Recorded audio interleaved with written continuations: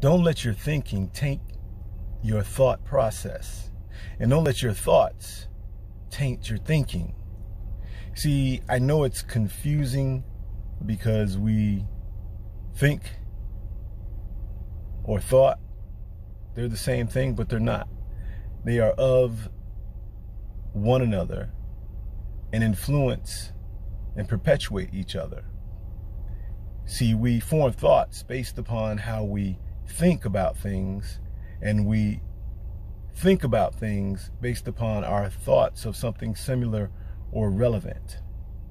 It's the chicken and the egg theory. So I can't clarify which one actually comes first.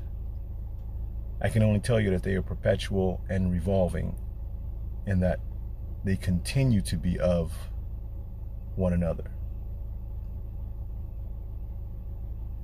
This is a Monday bonus thoughts from the basement.